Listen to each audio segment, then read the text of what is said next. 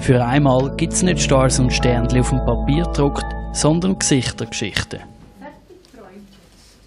Geformt und belebt aus Zeitungspapier von der Clownessa und Bühnenkünstlerin Horta van Hoye.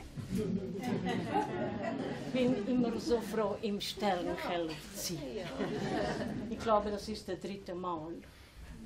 Kurz nach der ausverkauften Aufführung im Sternenkeller in Rüti macht sie die seltene Papierkunst zugänglich.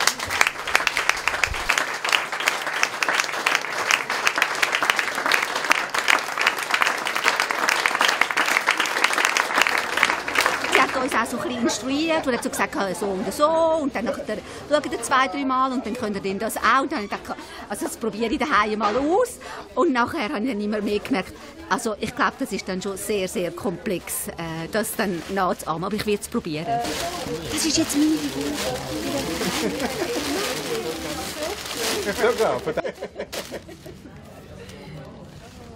Und das ist allgemein, wenn jetzt etwas passiert, so. Keine Panik. Einfach dich Dann müsst ihr von innen, innen. Ich finde es einzigartig. Man, es- man sieht so etwas nicht das zweite Mal, dass auf der Bühne Figuren entstehen. Und was sie aus dem Papier rausholt, finde ich einfach sensationell.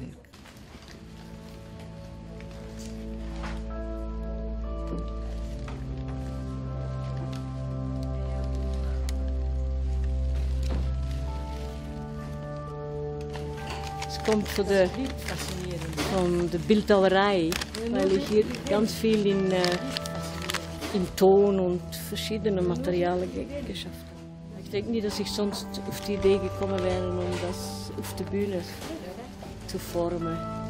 Das sind für mich Skulpturen, oder? Das Ganze natürlich in Stein nicht. Eines, wenn die Form fest sitzt, dann. Und das ist natürlich drum so faszinierend auf der Bühne. Ne? Ja. Und auch, weil das Gesicht von einem Mensch, das verändert ja dauernd.